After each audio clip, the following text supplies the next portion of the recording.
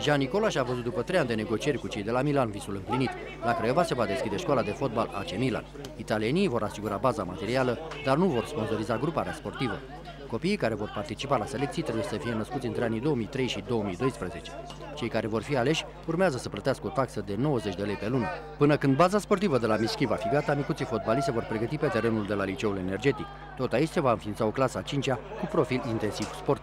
Anual, școala de la Craiova va propune italienilor un grup de 7-8 copii care merită să facă pasul acolo și dacă munca lor va da satisfacție, vor rămâne la AC Milan.